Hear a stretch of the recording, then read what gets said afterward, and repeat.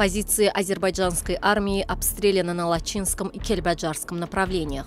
Как отмечается пресс-службой Министерства обороны, подразделения вооруженных сил Армении с ночи 20 июня до утра 21 июня с позиций, расположенных в селе Сайбалы Гаракильсяйского района, селе Ашары-Шорджа Басаркичарского района, с перерывами вели огонь из стрелкового оружия различного калибра по позициям азербайджанской армии в направлении населенных пунктов Минкент Лачинского района и Елиджа Кельбаджарского района. Подразделениями нашей армии были приняты адекватные ответные меры, говорится в сообщении.